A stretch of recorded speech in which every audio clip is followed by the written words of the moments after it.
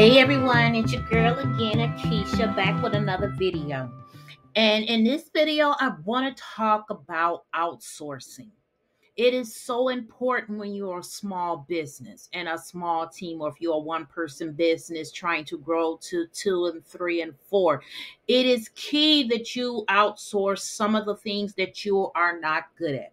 So I'm going to use my company as that example because I have too many small businesses trying to do everything and then they're not good at anything.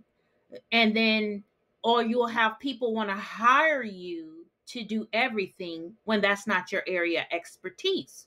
And so you have to put those processes and procedures in place so that way you're not overextending yourself.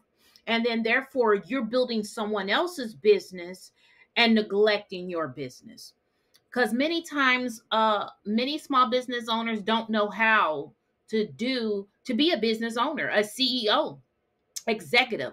And you notice i follow people who have done it who have um, exceeded the standard who has been building a business and i look at the patterns i look at the trends and the jeff bezos the facebook all of them the bill gates and many of the uh, contractors that I follow, the federal contractors who's big in the space, started off with one person teams.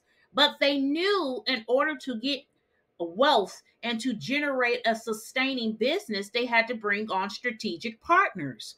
And these strategic partners are the people that's going to help you do your job better.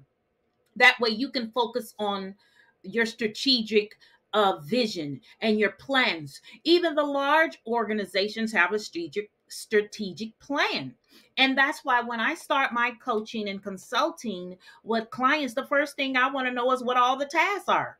That I'm doing a performance work statement, a scope of work or service agreement so we can know who's doing what. Are um I'm going to be doing this, you're going to be doing this.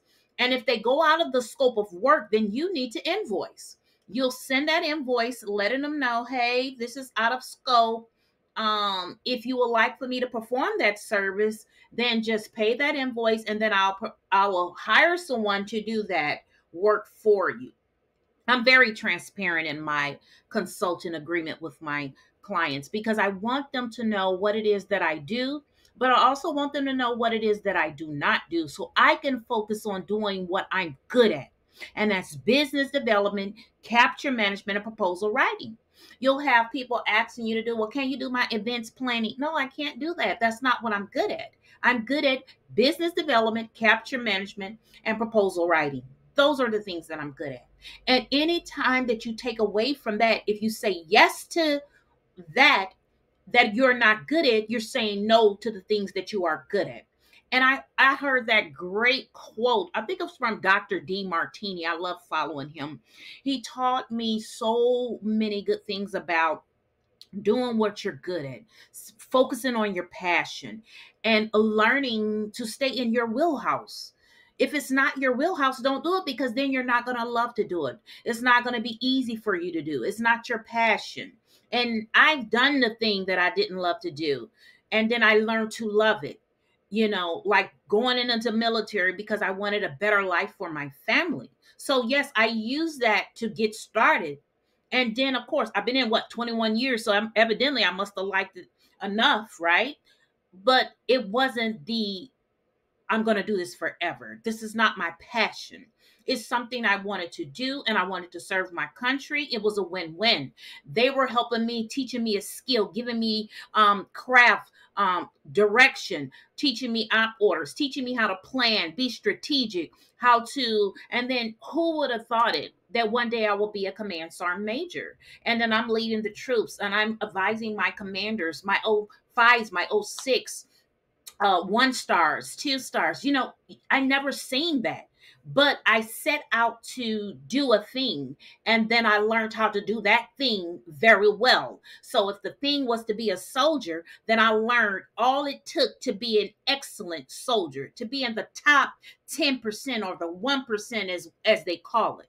So what I'm teaching small businesses owners how to be um, exceptional business owners to build a business that they love and, and they enjoy coming to and not building another job, another employee role relationship. No, we got into starting our businesses because we wanted that flexibility. We wanted the work life balance. Yes, sometimes at the beginning, building that business is not work life balance.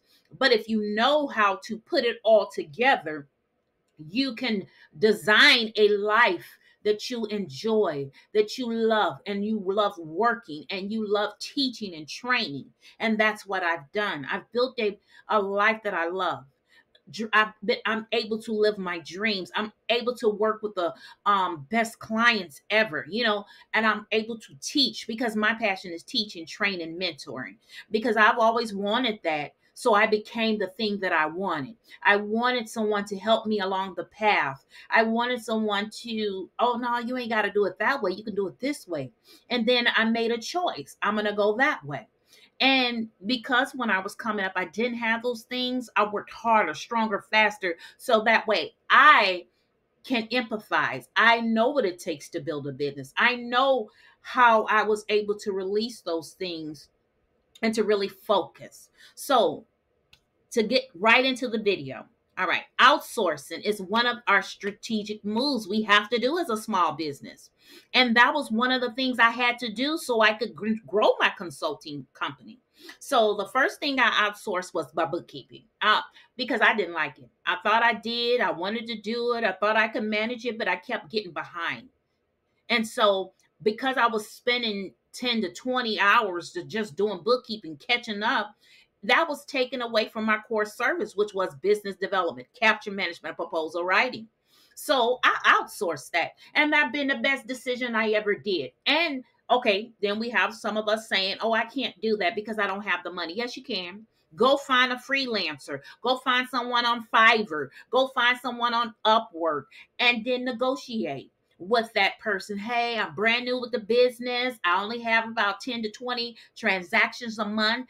Is there any programs or, or offerings that you have that could assist me and I and I'll get you everything you need so they can do their job and then that one thing is off your plate and now you can focus. Oh my god when i did that got me a bookkeeper that was the best thing i could ever do because now all i had to do is create that shared folder upload those documents for my bookkeeper so she can do her job. And she loved me and i loved her because we both were doing what we were supposed to do and then the taxes. You know i did my taxes for so many years. I went to h&r block and became a tax preparer. I learned how to do all those things because i just wanted to know the basic concepts but i didn't want to do it. So the next thing i did was got me a tax preparer. I'm not doing any taxes because as you grow things are going to get more complicated. So you need a subject matter expert to deal with that complexity. You could be put leaving money on the table. You could be doing so many things and then you're not getting all your tax credits, you're missing your depreciation. You need an expert. So, next, you need to be getting rid of that tax. Then the payroll. Oh, that became such a headache for me. Oh my goodness, handling that payroll. So then I got another service, uh, the Gusto. so they can do all my uh, payroll. They can do all my financial reporting and uh, those quarterly payments you have to do for employees and all of that. And they handle that for you. So you can use whatever ADP, whatever you want. But I I chose what a software that was easy uh, small business um, friendly and they worked with me. So I use those who work with me. If they're not working with me, then I'm not working with them. I want a win-win situation. And I I want people to work with me, so therefore I work with people. I want um prime contractors, other uh to to look at me as a well-established subcontractor because I love being a subcontractor subcontractor. I don't have to be the prime.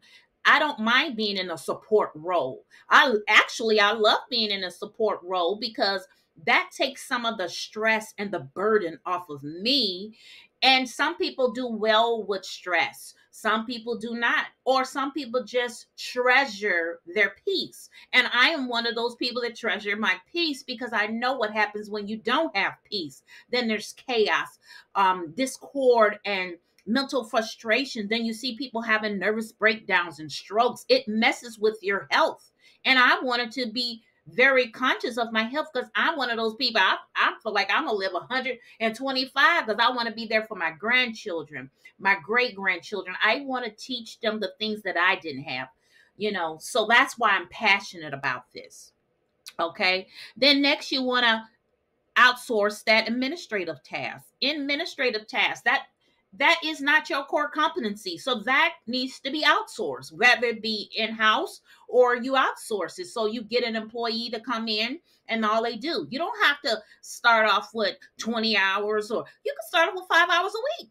When I first got started, I started off with five hours a week because that was what was in the budget. So, how you know is because you plan and I did the business plan. I got a counselor from the Apex Accelerator, formerly the Maryland PTAC. And my counselor helped me to do those things, to separate, to um, outsource. And I'm just paying it forward. I'm teaching you the things that I was taught when I was building my business. So I got those things out of my way. I trained my um, assistant to do those tasks, and you can't expect them to come in knowing how to do everything. You have to build your training library, your database to train your team. If you don't train your team, how do you expect them to know? They don't just come in knowing. Even even if they've done it a hundred times, every business is unique. Every business has its own way of doing things. So I am passionate about this because we have to get the word out. We have to educate and train our small business so they can be proficient. Okay, so then I outsource that. Now the IT support. Uh, because you don't want to build all this infrastructure, have all these other things um via if you're going to do it in-house outsource it and then just give them access but it's critical that you protect that content. Have someone going in, updating your system, doing all the maintenance, troubleshooting. Uh, one time I got a malware, and it, I was so thankful that I had um, a team to go to to get that off of my system because um, large primes don't want to work with us because we don't have these things in place and then so we get a virus and then we pass it up to them and then they have so much data and intellectual property they have to protect. So you're thinking about yourself and not your customer. No, you have to think about yourself. Protect yourself so you're protecting your customers' content. You're protecting your customers' intellectual property. That is our role as a subcontractor is to protect our client who we are servicing. And see, most small business can't afford to hire people on full time. They just can't do it. Their budget doesn't allow for it at the beginning. So that's why we created our offering for small businesses. That's what we cater to the small businesses, teaching them, growing them um, after they have come from the Apex Accelerator or the Small Business Development Center because they have a foundation. And I provide the free content for you on the YouTube channel, on the LinkedIn, on my website. So you can use that all that free content so you can save that capital to pay yourself and your team. Those are the things you need to focus on paying yourself and paying your team. So that takes away the anxiety, and then you can focus on growing your business. Because I'm telling you, once you have that capital, it relieves the stress, and then you really come up with ideas because you're in a zone of flow you're flowing in your passion. You don't have to worry about payroll. You don't have to worry about getting paid because you've built that business to sustain itself. So now you can work on strategies, um, different ways to scale and grow your business. You're going to have that personal development. Okay, so now that you have your I team, now you need to do about your marketing. I love doing my own blog post writing. I love doing all of my own content because I have a passion. I have I know this um, area. All I need is a person to come in to upload my content, to manage my content, so that way I can focus on writing. My thing is writing and research. I love researching, writing, um, looking how I can make it better, constant improvement, constant, um, okay, so we did it analyzing, okay, we did it this way. Can we possibly make it better? That's where I love it. That's where I am good at. So I'm not I'm not good at uploading no content. I'm not good at going out here managing all this other these different platforms because there's several different platforms. Some people love LinkedIn, some people love YouTube, some people love um Facebook. If I spent all my time on that, I wouldn't be able to provide my clients with customer 100% customer service. So you got to think about that as well. Now the legal services, you got to protect yourself. Not everybody is for you. Uh, you have a lot of people out there, they say they're for you, but they're really not. They're really trying to, I don't know, it's not malicious, or maybe it's the way they were brought up or anything. Protect yourself. It is important to have legal services.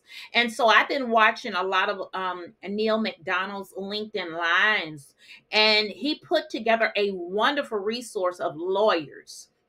So you can go on there, save that time, have your assistant go in there, pull them all, put them in a spreadsheet, and then reach out to those individuals and see up that get up their pricing. See, can you if are they in your budget? If they're not, you just keep looking. If you can't find them off of that, then go on Upwork, go on Fiverr, because you have freelancers out there who are getting through school and they need someone to just work with them and give them a chance. You wanted someone to give you a chance, so give them a chance. You know, everybody want the expert, but they don't want to pay the expert price. Well, you know what? Get those promising, the ones with potential.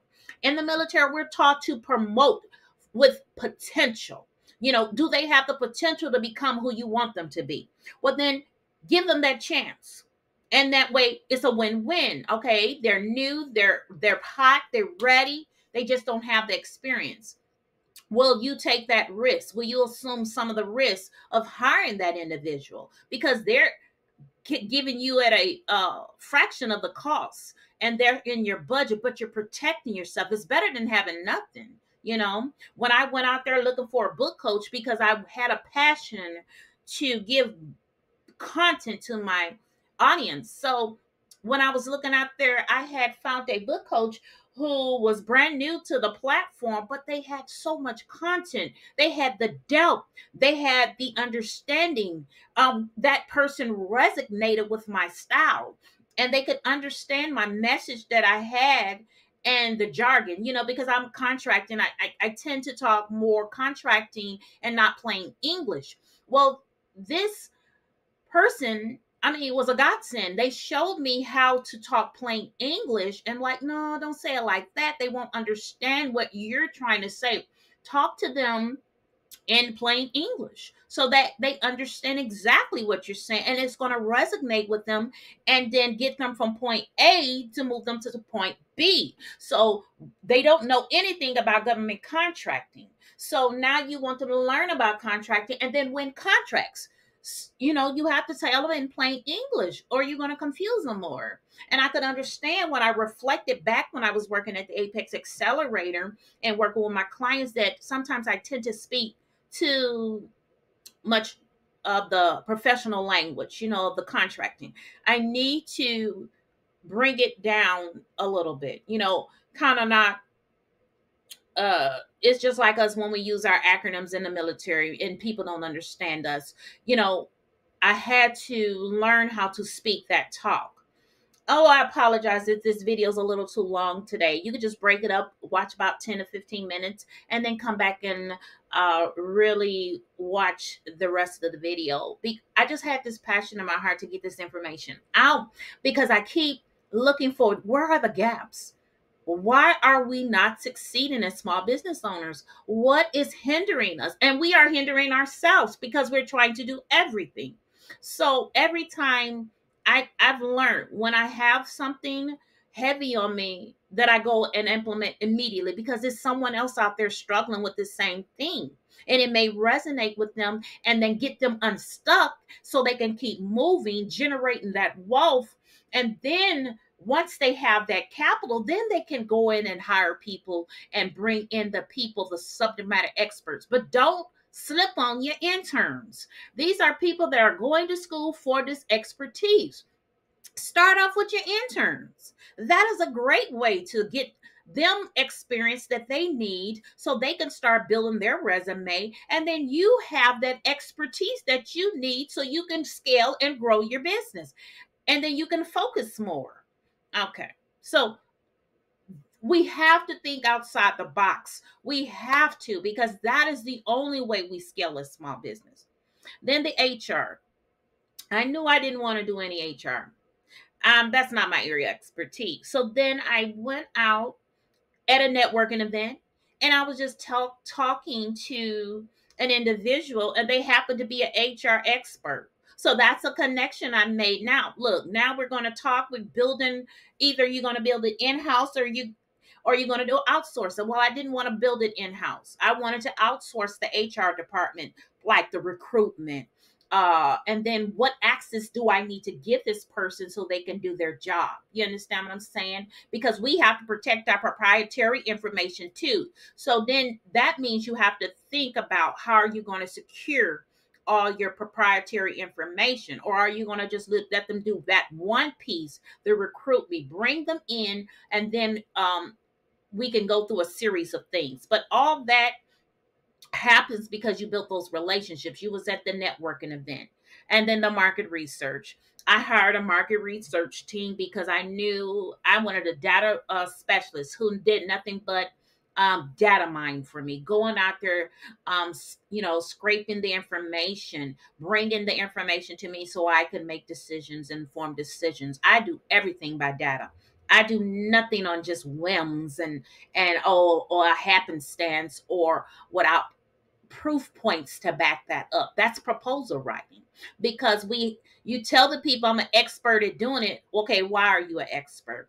Because you've been worked with over 250 clients, 350 clients, a thousand clients at that area expertise. What makes you the subject matter expert, right? You have to prove it because now they're going to go through, look at that evaluation, see who's best for the job. And then customer support. Say your team, you, have built a wonderful business and you want to make sure that you're handling your customers with care, having that support for them that, that they can get, whether it's a live person or some kind of tickets and queries that they know that they've connected with someone. How many times we've been on the phone and we're trying to get somebody, we're already frustrated, we're upset. We hit one, they put us to two, then from two to four, you've been up 30 minutes later, you still haven't got a human being. Oh my goodness. And then so now you're fuming. And then, you know, now um, when we're fuming, we're what can be unrational. And they could be a good organization, but so you have to think about your customer support. The client care is so important and event planning. So, like me, I love to have workshops, I love to have events. Then I'm going to hire someone to do my event planning. I'm not doing the event planning, I focus on core competencies. I'm doing business development, I'm doing capture management, I'm doing proposal writing. Those are my core, and I'm teaching and training my small businesses how to do that. And only way I can do that is not being the doer. I am the overseer. I oversee all of these operations so I can do what I'm good at, what is my passion, what I love to do. And then as you grow, you're going to need translation services. A lot of you have international businesses, international markets. You're going to want to get your stuff uh, trans. Um, it into Spanish or any other language and all that, you want to give that to some an expert to do. So I hope this video was helpful you and just um if you have any comments, please leave them in the comments below because I'm trying to build the content. I am building a resource for small businesses in my community, the underserved um, community who doesn't have the capital and the the resources or the staff that large or even established mid-sized businesses do. When you're first transitioning from 9 to 5, that employee mindset, you tend to bring that over to business business owner mindset. And you have to get out of that. You're no longer an employee. You are a employer. You're going to be employing people and subcontractors. I practice what I preach. If I'm a subcontractor looking to work with prime contractors, then that's who I'm hiring. I'm hiring other subcontractors. I'm a subcontractor tier one, they're a subcontractor tier two. But many a times we won't even give that small business the opportunity to grow their craft because we don't want to assume the risk. Well, guess what?